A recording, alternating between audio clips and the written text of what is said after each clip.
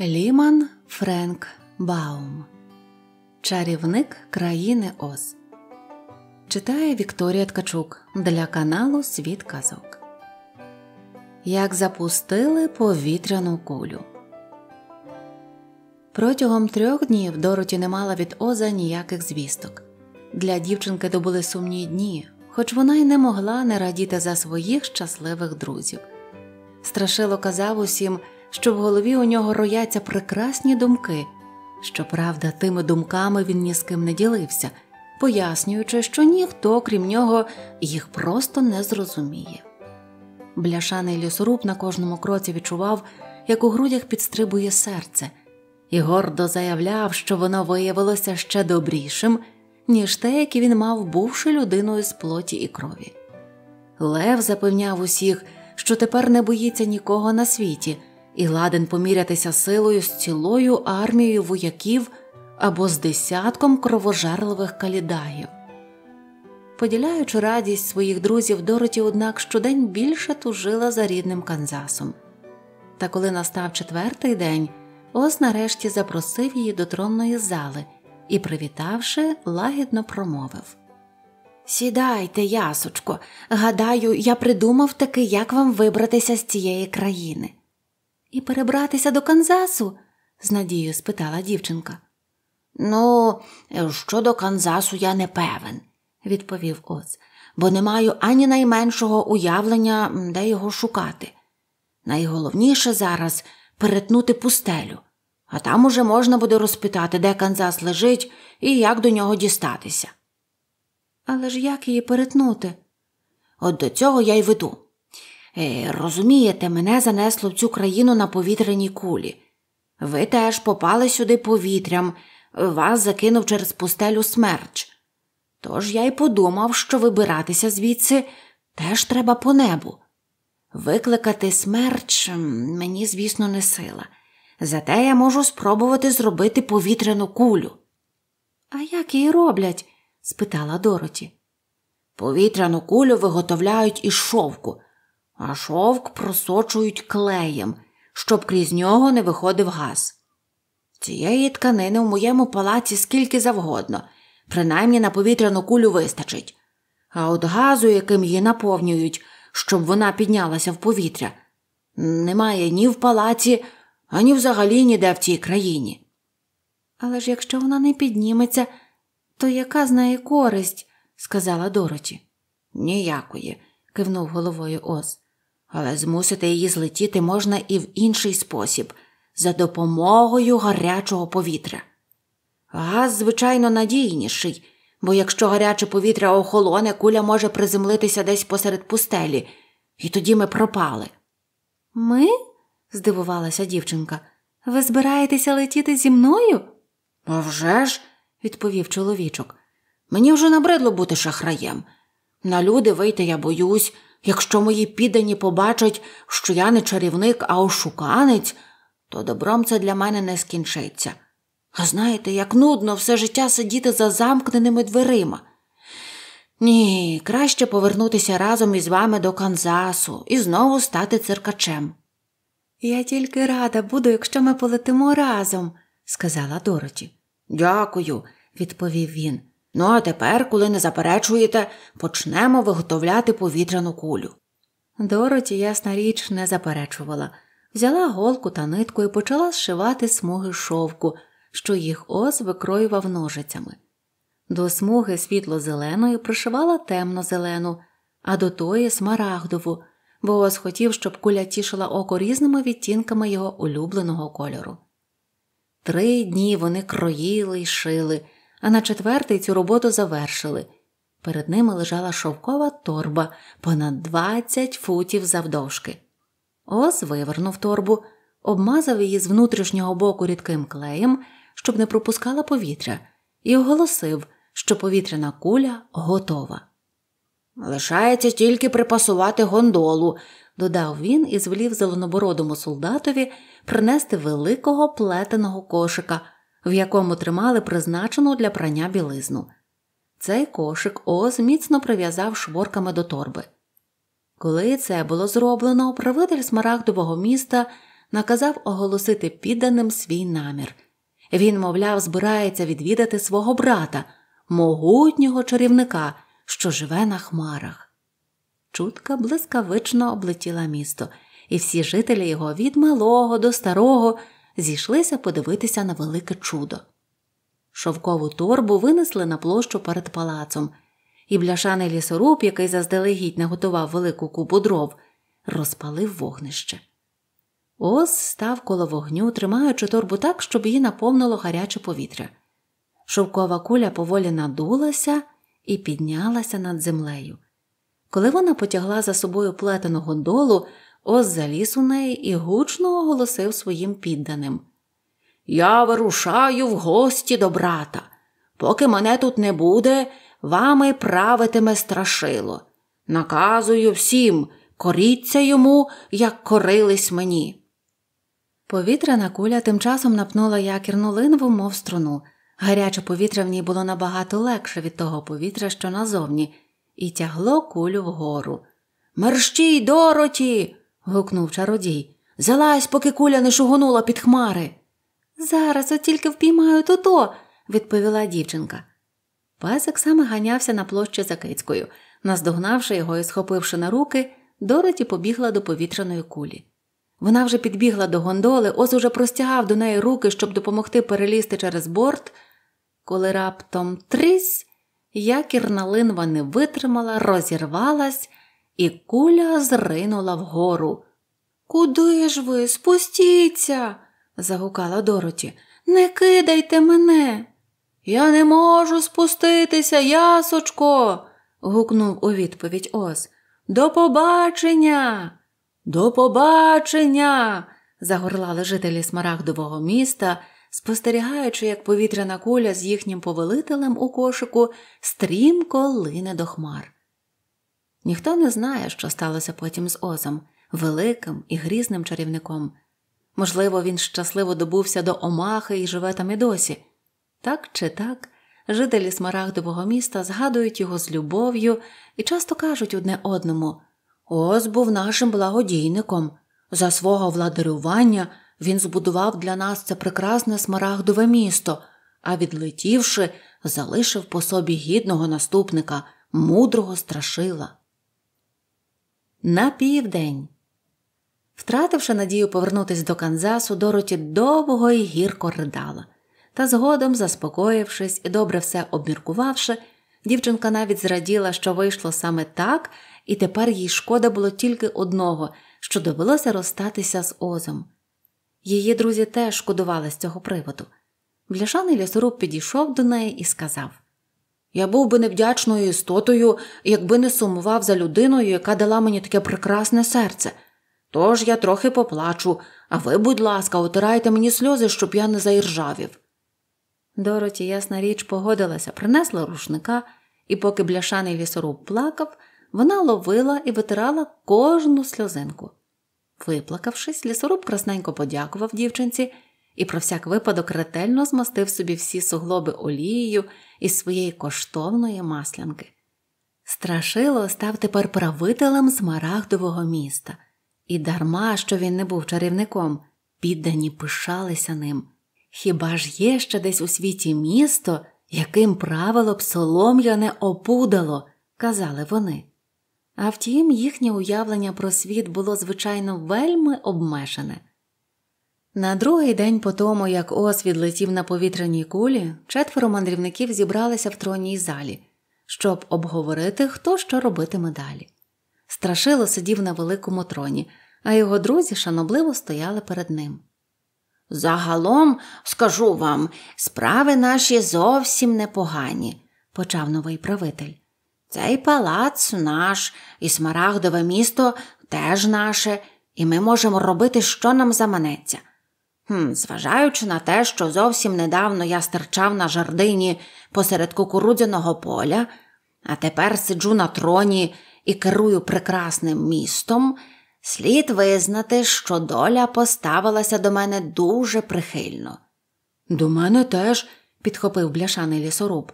Я цілком задоволений своїм новим серцем, а зрештою нічого іншого мені й не треба було. Та й мені нема на що нарікати, Я тепер не поступаюся сміливістю перед іншими звірами, а може, навіть сміливіший за них усіх, скромно зауважив Лев. Якби ще й Дороті погодилася оселитися в смарагдовому місті, повів далі страшило, нам для повного щастя нічого більше не бракувало б. Але я не хочу оселятися тут, скрикнула Дороті. Я хочу повернутися до Канзасу, до тітоньки Ем і дядечка Генрі. То як же це зробити? запитав бляшаний лісоруб. Страшило вирішив випробувати свій новий мозок і почав напружено думати, аж голки й шпильки повитикалися з голови. Нарешті він сказав А чому б не викликати крилатих мавп і не звеліти, щоб вони перенесли вас через пустелю? Ой, як же це досі не спало мені на думку, зраділа Дороті. Прекрасна ідея. Зараз я принесу золотий шолом. Повернувшись з ним до тронної зали, вона проказала закляття, і крізь відчинене вікно до них умить влетіла вся зграя крилатих мавп. Ви викликали нас удруге, сказав мавпячий король, уклонившись дівчинці. Чого ви бажаєте? Я бажаю, щоб ви перенесли мене до Канзасу, відповіла Дороті. Але мавпячий король похитав головою. Це неможливо. Ми належимо до цієї країни і не можемо залишити її. В Канзасі ніколи не було і, певне, ніколи не буде крилатих мавп, бо там їм не місце. Ми радо зробимо для вас усе, що нам до снаги, але перелітати через пустелю не маємо права. До побачення. І ще раз уклонившись, мавпячий король змахнув крильми і вилетів у вікно, а за ним і вся його зграя. Дороті мало не заплакала від розчарування. Виходить, я надаремне витратила чарівну силу золотого шолома, вигукнула вона. Навіть крилаті мавпи не можуть мені допомогти.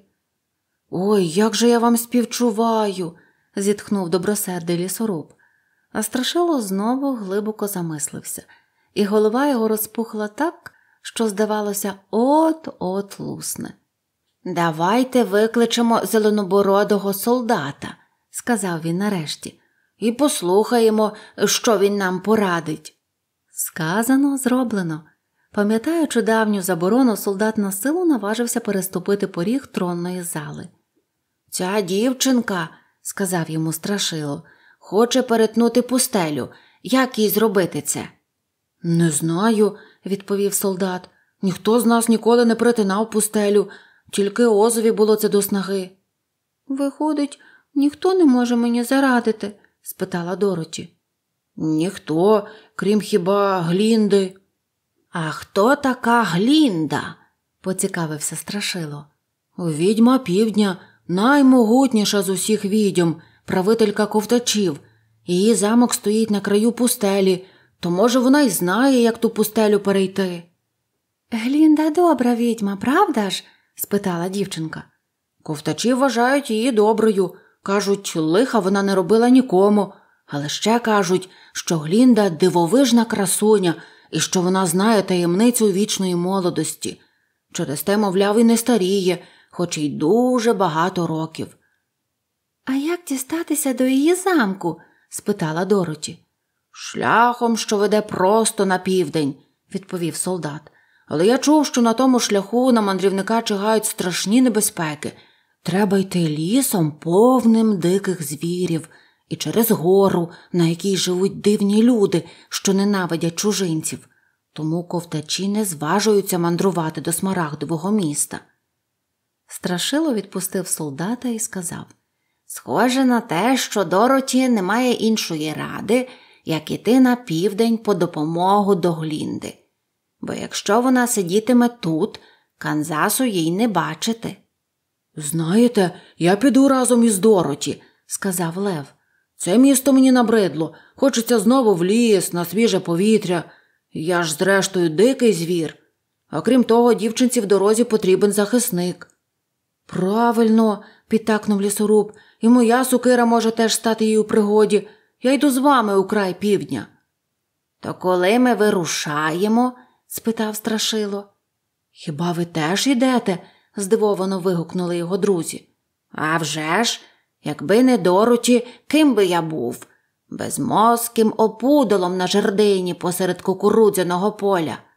Усім, що в мене є, я завдячую їй, і тому розстануся з нею тільки тоді, коли вона повернеться до Канзасу. Дякую, зворушено мовила Дороті. Всі ви справжні друзі, та якщо вже ви зголосилися йти разом зі мною, прошу вас, вирушаємо якнайшвидше. Гаразд, ми вирушимо завтра вранці, рішуче сказав Страшило. А тепер нумо як слід лаштуватися в дорогу, бо вона буде довга і нелегка. Бій із войовничими деревами. Наступного ранку Дороті поцілувалася на прощання з гарненькою зеленою дівчиною, потім четверо друзів по черзі потисли руку зеленобородому солдатові, що провів їх до виходу з міста. Вартовий міської брами, побачивши мандрівників, знову неабияк здивувався невже вони ще раз залишають таке прекрасне місто заради якихось небезпечних пригод?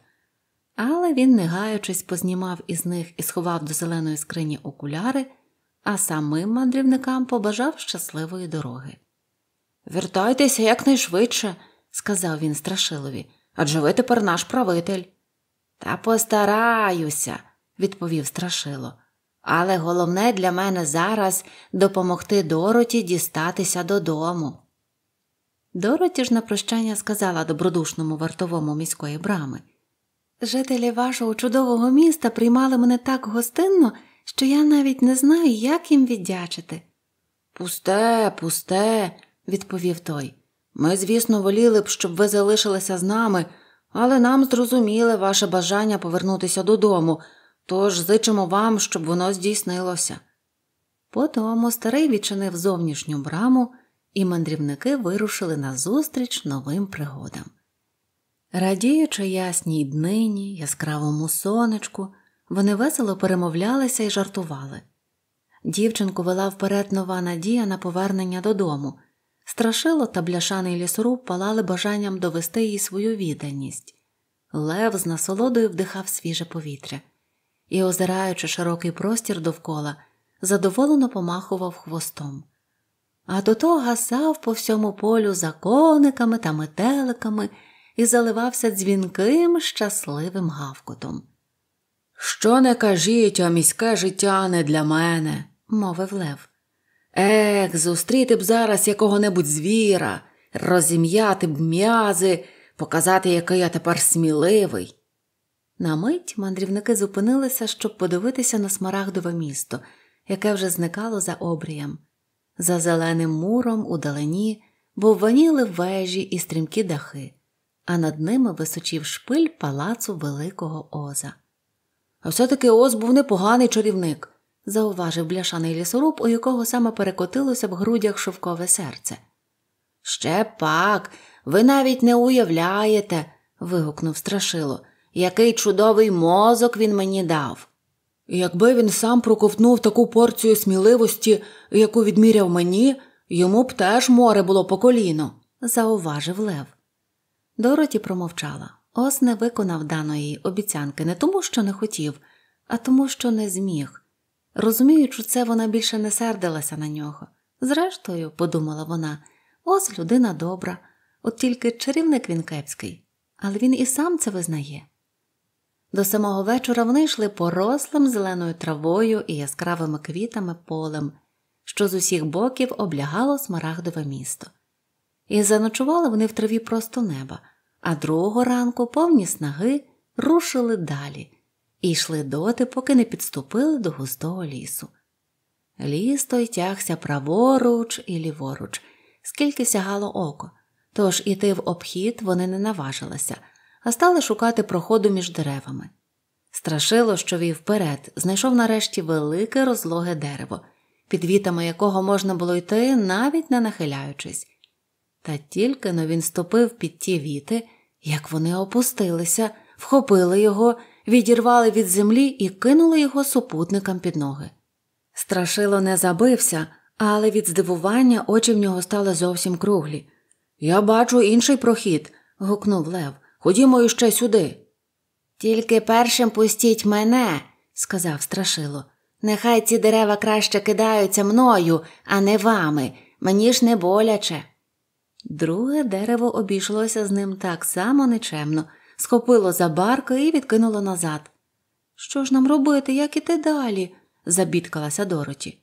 Видно, ці войовничі дерева нікому не дають проходу, зауважив Лев. Нічого, я їм зараз покажу, сказав лісоруб і з сокирою в руці попрямував до першого дерева. Коли велика гілка нахилилася, щоб схопити його, лісоруб швидко розмахнувся і перерубав її. Дерево затремтіло, неначе від болю, а бляшаний лісоруб без перешкоди прийшов під ним. За мною. гукнув він своїм товаришам. Мерщій. Дороті, Лев і страшило успішно пробігли слідом за лісорубом, але то то не пощастило. Маленька гілка впіймала його і здушила так, що бідулаха аж завищав. Та лісоруб блискавично відтяв ту гілку і визволив песика. Інші дерева вже не намагалися перепинити їм дорогу. Видно, чинити опір уміли тільки ті з них, що стояли з краю, на узліссі. Але по той бік лісу на мандрівників чекала нова перешкода там стояв мур, злагоджений, очевидно, із порцеляни, білий, гладенький, блискучий і такий високий, що подолати його годі було думати. А тепер що робитимем? жалібно спитала Дороті. А тепер я змайструю драбину, відповів бляшаний лісоруб, бо треба ж якось через цю перепону перелізти. Країна ламкої порцеляни. Поки лісоруб майстрував драбину, Дороті, втомлена довгою дорогою, спочивала. Поряд із нею, скрутившись калачиком, спали Лев і тото. Що ж до страшила, то він, спостерігаючи, як працює лісоруб, уголос розмірковував. Не розумію, навіщо цей мур тут стоїть, хто його поставив і з чого він зроблений? Як же це так? Мозок маю, а не розумію. Та дайте ви спокій своєму мозкові, сказав нарешті лісоруб. От переліземо через мур, і зразу стане ясно, хто і навіщо його спорудив. За якийсь час драбина, хоч і незграбна, але міцна, була готова. Страшило розбудив Дороті, Лева й тото і першим невміло поліз угору, а Дороті підтримувала його знизу, щоб не впав. Виткнувши голову над муром, страшило вигукнув Ой! Лізьте, лізьте, нетерпляче підштовхнула його Дороті. Коли страшило нарешті сів на мурі, Дороті, діставшись верхнього щабля, визирнула й собі і теж здивовано вигукнула Ой. А потім то той, кого вона підняла і посадила поряд зі страшилом, зайшовся гавкутом. Але Дороті цитнула на песика, і той замовк. Слідом за ними на мур видряпався лев, а вже після всіх бляшаний лісоруб. І кожен, визирнувши за муру, вигукував Ой. Умостившись нарешті рядком на мурі, вони задивилися на чудесний краєвид, що їм відкрився. Перед мандрівниками лежала країна, пласка, як таріль, і точнісінько, як таріль гладенька і сліпучо біла. Тут і там на порцеляновій поверхні стояли, сяючи найяскравішими барвами, порцелянові будиночки, здебільшого зовсім малі. Найвище з поміж них ледве сягали дороті до пояса. До будиночків тулилися гарненькі повітки та інші прибудови. На подвір'ях за порцеляновими парканами стояли маленькі корови, вівці, коні, свині, кури, геть усі порцелянові. Але найдивовижнішими в цій незвичайній країні були люди. Молочниці й пастушки в барвистих корсетках і широких поцяткованих золотом спідницях, принцеси в пишних шатах, золотого, срібного і пурпурового кольорів, пастухи в штанцях до колін, штанців рожеву, жовту й синю смужку, а на ногах черевички з золотими пряжками, принци в діамантових коронах, горностаєвих мантіях і кумедні червонощокі блазні в пелеринках та високих ковпаках. Найголовніше ж те, що і маленькі жителі цієї маленької країни, і їхні костюми були порцелянові. Ніхто з них спочатку не звертав уваги на мандрівників, тільки маленька собачка бускового кольору, у якого голова була більша за тулуб, підбіг до муру, погавкав на них тоненьким голосочком і втік. А як же ми спустимося? спитала Дороті. Драбина виявилася такою важкою, що вони не подужали витягти її нагору, але страшило знайшов вихід. Він плюхнувся з муру вниз, а його друзі одне по одному позіскакували на нього, щоб не пошкодити ноги на твердій долівці. Ясна річ, стрибали вони так, щоб не впасти йому на голову, повну шпильок та голок. Потім друзі підняли страшила, що під їхньою вагою зовсім був розплющився, підбили солому, і він знову зробився кругленький і опецькуватий. Що ж, дорога в нас одна, на південь, сказала Дороті. Ходімо навпростець. І вони рушили країною порцелянових людей. Біля першого будиночка порцелянова молочниця доїла порцелянову корову. Побачивши їх, корова раптом хвицнула ногою, перекинула ослінчик, і молочниця та її відро зі страшним брязкотом упали на порцелянову долівку. Дороті жахнулася, побачивши, що в корови відламалася нога, відро розбилося на друзки, а в бідолашної молочниці пощербився лікоть. Ну, от, сердито вигукнула гарненька молочниця.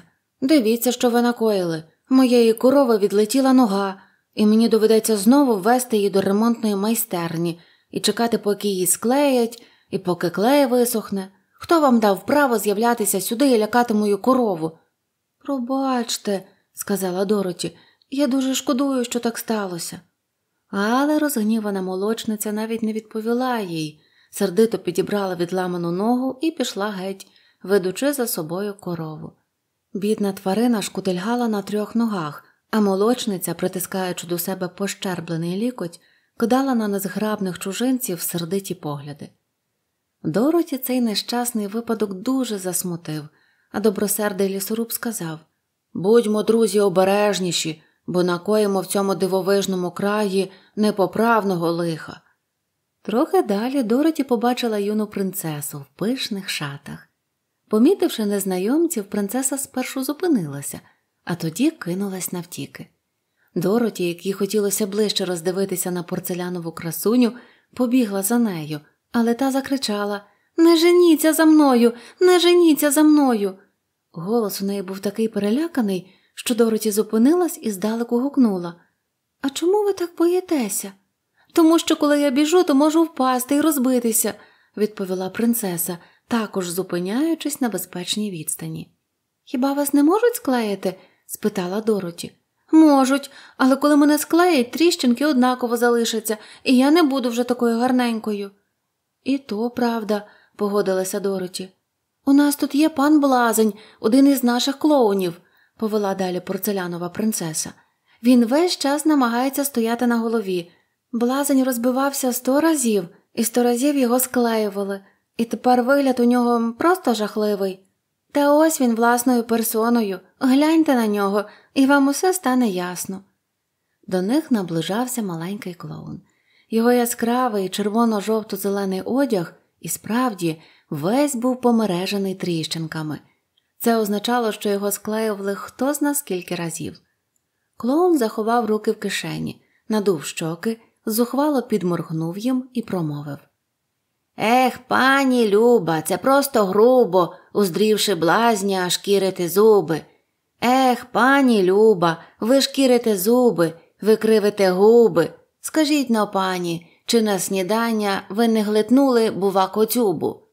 Замокніть, пане блазню, обурилась принцеса. Хіба ви не бачите, це іноземці, до них треба виявляти повагу. Увага, увага, виявляю повагу. вигукнув клоун і став на голову. Не ображайтеся на нього, сказала принцеса дівчинці. Йому разом із головою склеїли й розум, через те він і мелека зна що. А я й не ображаюся, відповіла Дороті, а потім додала. Ви така гарненька, очей не відведеш. Дозвольте мені забрати вас із собою в Канзас. Я поставила б вас на полицю і весь час милувалася б вами. Для мене це було б страшенним нещастям, відповіла порцелянова принцеса. Розумієте, тут, у своїй країні, ми втішаємося життям, ходимо, розмовляємо, робимо, що нам заманеться. Та як тільки нас забирають звідси, ми стаємо звичайнісінькими нерухомими статуетками, неживими прикрасами. Звісно, ми й призначені для того, щоб прикрашати собою полиці, столики і підвіконня, але нам куди приємніше жити своїм життям у своїй країні. Ну, коли так, то лишайтеся і живіть щасливо, сказала Дороті. Бажаю вам усього найкращого. І я вам бажаю всього найкращого, відповіла порцелянова принцеса. Далі наші мандрівники йшли вже дуже обережно. Забачивши їх, порцелянові люди й тваринки кидалися в розтіч. Видно, боялися попасти їм під ноги. А втім, ця дивна країна була невелика. За годину мандрівники перейшли її і зупинилися перед другим білим муром. Цей мур був нижчий від першого, і вони перелізли через нього, стаючи на спину левові і підтягуючись угору на руках. А потім Лев відштовхнувся усіма чотирма лапами і стрибнув на мур. При цьому він, однак, кінчиком хвоста зачепив якусь порцелянову споруду, яка впала і розбилася. Шкода, що так вийшло, сказала Дороті, але зрештою ми винні тільки в тому, що розбилася одна споруда, і в однієї корови відламалася нога. Коли зважити на те, яке тут усе тендітне і ламке, ми могли б накоїти куди більшого лиха. «А тож, а тож», – погодився страшило. Знаєте, я дуже радий, що мене зроблено із соломи, а не з ламкої порцеляни. Виходить, в опудала все ж таки не найгірша в світі доля. Лев стає царем звірів. За порцеляновим муром лежала непривітна місцевість. На кожному кроці тут траплялося болото чи трясовина. Мандрівники весь час загрузали і ледве брели, а коли болото лишилося позаду, вони опинилися у густих чагарях, крізь які теж дуже важко було пробиратися.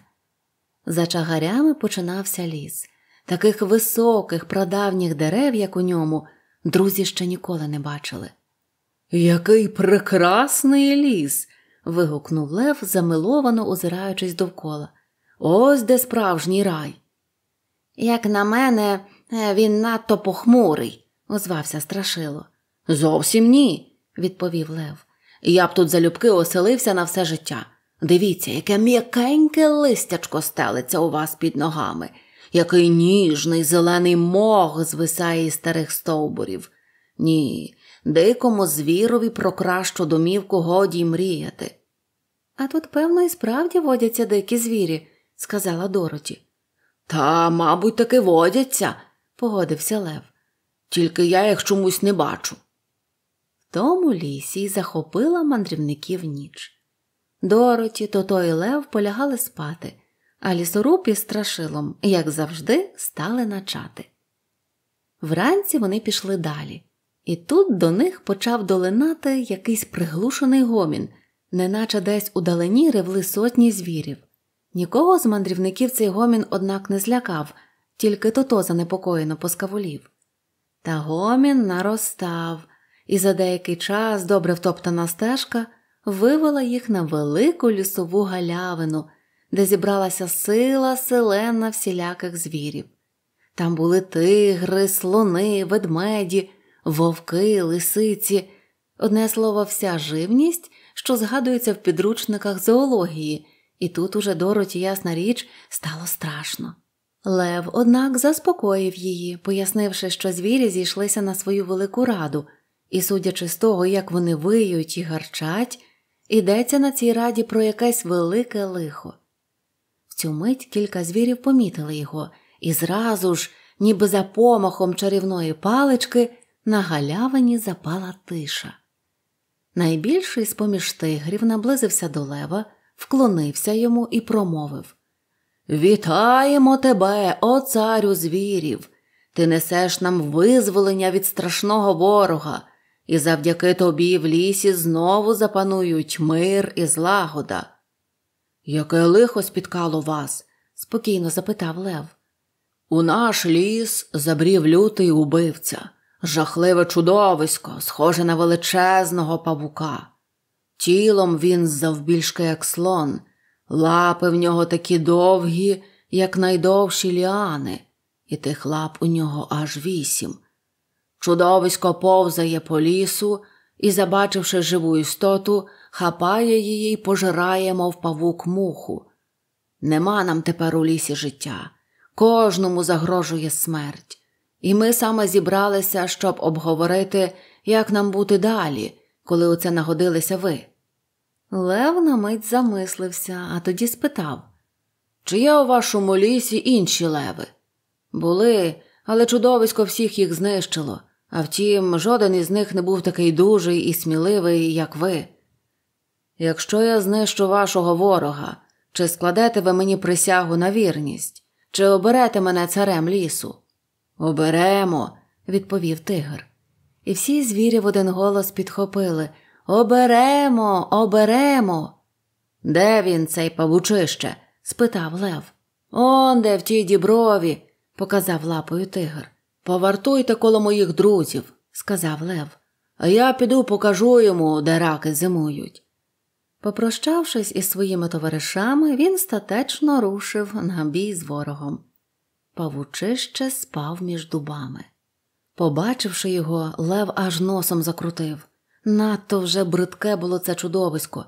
Лаписька справді завбільшки, як ліани, все тіло вкрите густою чорною шерстю, з пащі стирчать страхітливі ікла. Проте голова його сиділа на тонюсінькій шиї, не товстішій, мабуть, за осину талію. Лев зрозумів, шия найвразливіше місце у ворога, і, вирішивши скористатися з того, що павучисько спить, щосили відштовхнувся від землі, стрибнув йому на спину і одним ударом дужої, озброєної гострими пазурами лапи, стяв йому голову. Упевнившись, що потвора сконала, Лев повернувся до галявини і гордо оголосив лісовим звірам. Вам більше нікого боятися. Звірі тут таки проголосили його своїм царем і склали присягу на вірність. Лев пообіцяв вернутися і очолити лісову громаду, як тільки Дороті благополучно відбуде до Канзасу. Край ковтачів. Вийшовши з того темного лісу, наші мандрівники опинилися перед крутою горою, схили якої були всіяні уламками скель. Перешкода нелегка, але ми й не такі долали, бадьоро сказав страшило. Та тільки но вони добулися до найближчої скелі, з-за неї хтось гримнув. Ану, назад. Хто ви такі? спитав страшило. За скелі вигулькнула голова. Ми хазяї цієї гори і сторонніх на неї не пускаємо. Але нам конче треба перейти через вашу гору, сказав страшило. Ми прямуємо до краю ковтачів. Нічого не вийде, почулося у відповідь. Із за скелі вийшов придивний чоловік, оцупкуватий, дебелий, з великою приплюснутою зверхою головою на товстій шиї, що мала безліч складок. Рук у нього не було. Побачивши це, страшило вирішив, що така безпорадна істота не зможе стати їм на заваді, а тому сказав Даруйте, але нам доведеться порушити вашу заборону, і сміливо рушив уперед. І тут, дарма що відстань між ними була чималенька, хазяїн гори вдарив його головою. Шия його блискавично видовжилася, і пласким черепом він так садонув страшила у бік, що той перекидьки покотився схилом. А безрукий нападник знов увібрав голову в плечі, шия зібралася в складки і, зареготавши, вигукнув Як бачиш, із нами жарти кепські. Сотні горлянок підхопили його регіт, і Дороті побачила, що за кожним виступом скелі стоять безрукі головошльопи. Лева цей регіт страшенно розлютив. Палаючи бажанням помститися за страшила, він оглушливо заревів і помчався схилом нагору. Але і йому вихопилась назустріч голова, і Лев покотився вниз, наче збитий гарматним ядром. Дороті кинулася допомагати страшилові. Лев, звівшись на ноги, підійшов до них і з досадою сказав З головошляпами битися безглуздо, їх неможливо перемогти. Що ж нам робити? спитала дівчинка. Викликайте крилатих мавп, порадив бляшаний лісоруб, адже ви можете загадати їм ще одне бажання. Дороті так і зробила, наділа золотий шолом і промовила заклинання. Мавпи не примусили довго чекати себе. За хвилину вся зграя стояла перед дівчинкою. Слухаємося і коримося, низько вклонившись, промовив мавпячий король.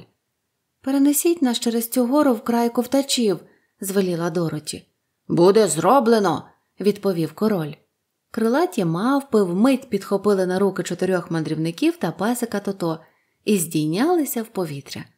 Коли вони пролітали над горою, головошльопи люто горлали, лаялися і вистрілювали в них своїми плескатими головами, але до крилатих мавп дістатися не могли.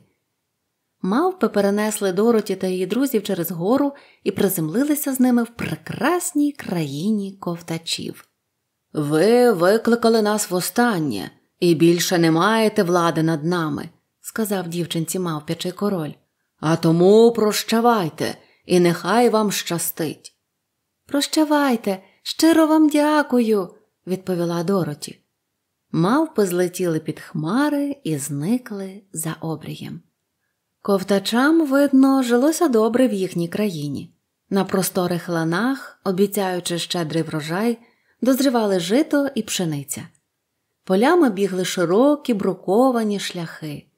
Міцні мости з'єднували береги дзвінких прозорих річок.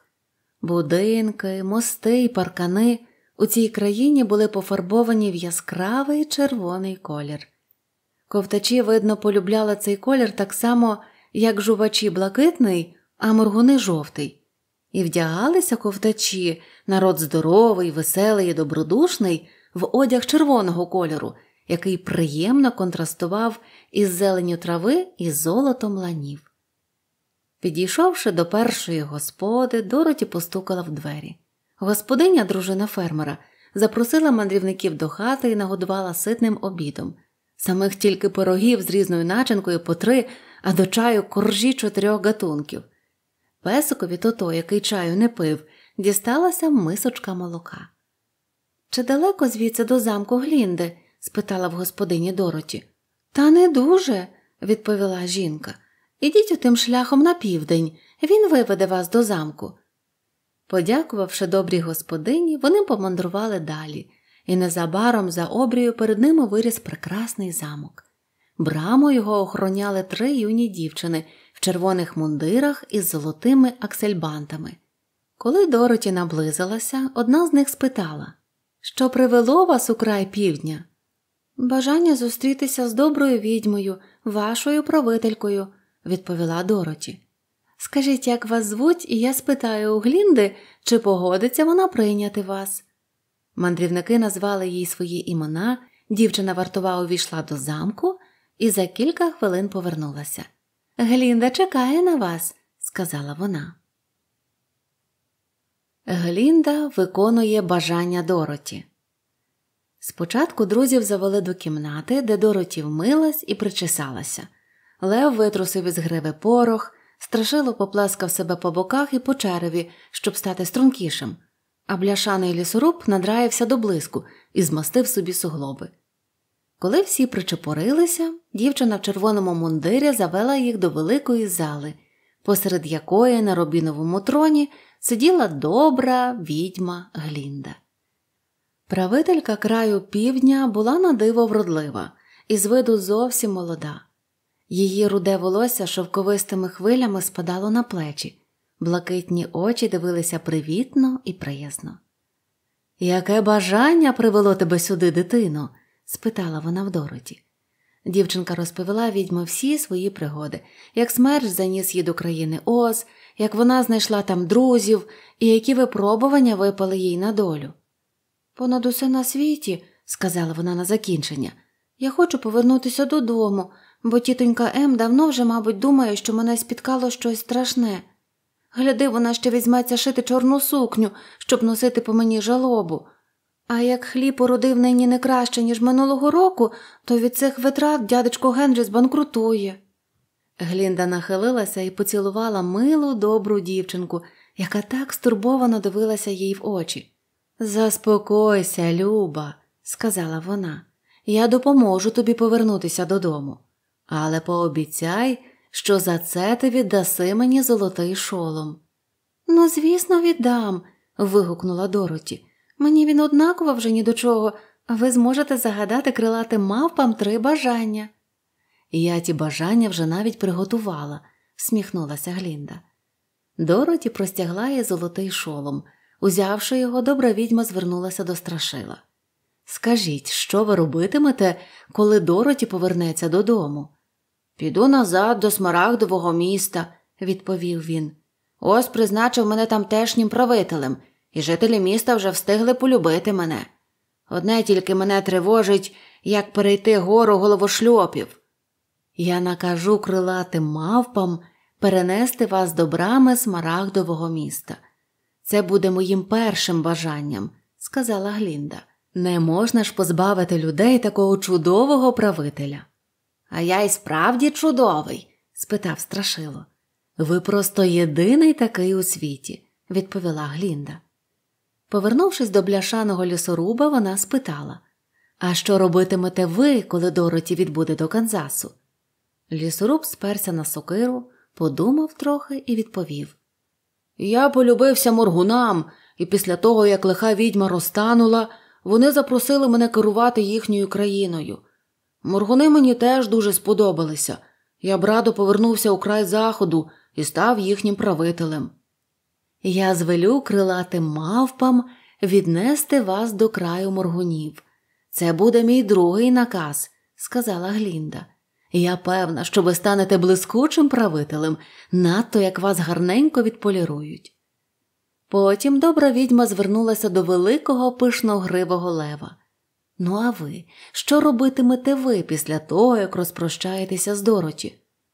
За горою головошльопів, відповів він, стоїть прадавній густий ліс. Звірі, що там живуть, обрали мене своїм царем. Найбільшим щастям для мене було б повернутися до того лісу.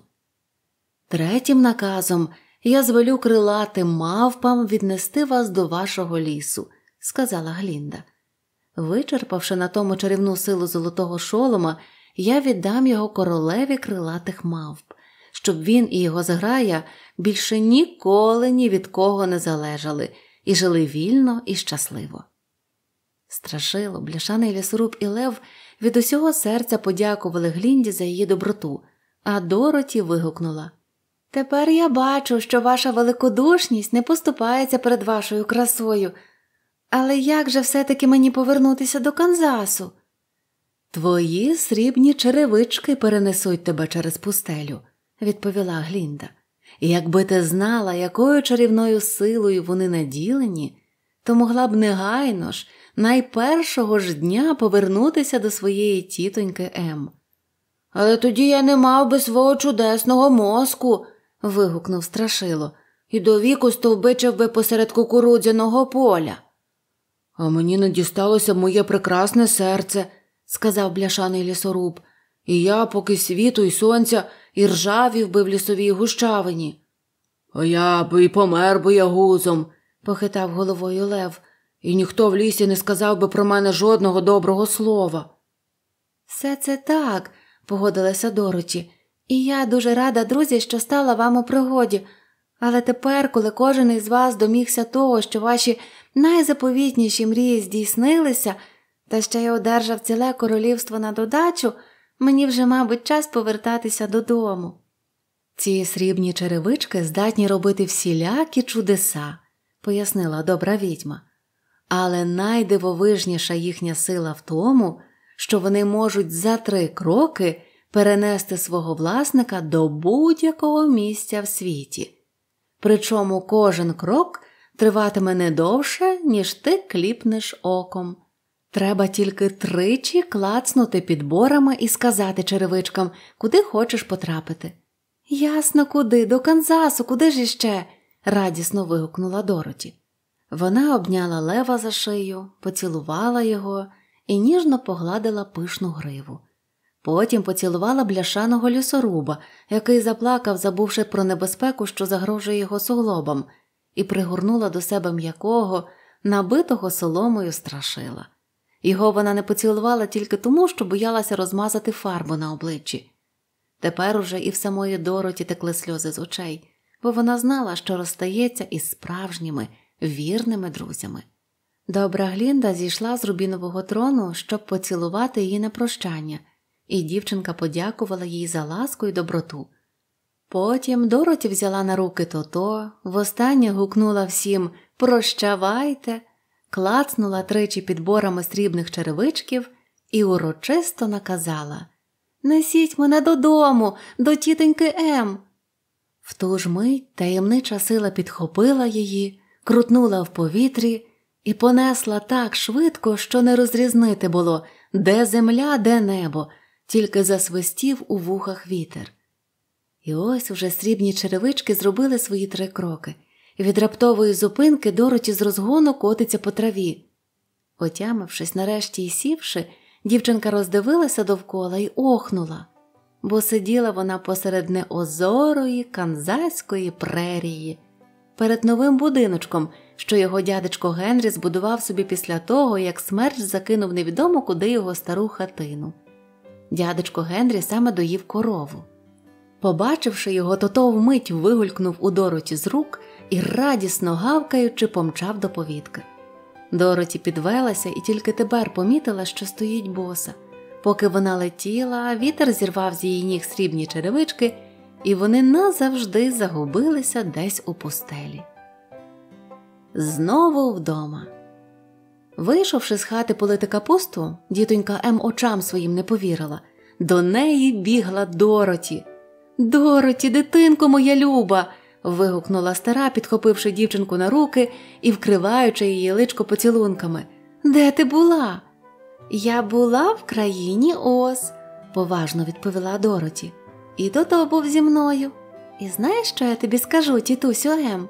Я така рада, що я знову нарешті вдома. Кінець. Дякую вам за ваші вподобайки і до зустрічі на каналі Світ Казок.